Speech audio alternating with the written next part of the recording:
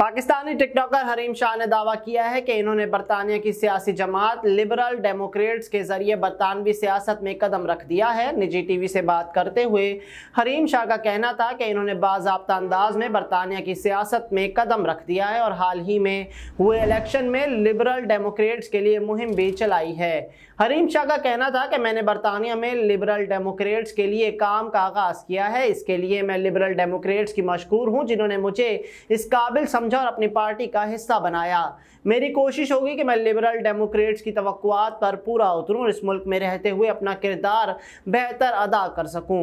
हरीम शाह का कहना था कि दर हकीकत में पाकिस्तानी हूँ और पाकिस्तानी होने की हैसियत के साथ बरतानवी पार्लियामेंट में बैठ कर इनकी सियासी जमात के लिए कुछ करना मेरे लिए एक बड़ी कामयाबी है। इस पार्टी में मेरे कुछ दीगर दोस्त भी काम कर रहे हैं। इसके अलावा इस पार्टी के लिए बहुत सी पाकिस्तानी भी काम कर रहे हैं। टिकटॉकर का कहना था कि मुझे तालीम के हवाले से बरतानिया अच्छा लगा, जिसके बाद मुझे यहाँ मेरिट की बुनियाद पर एडमिशन भी मिल गया और अब मैं यहाँ एलएलबी में अपनी पढ़ाई जारी रखे हुए हूँ।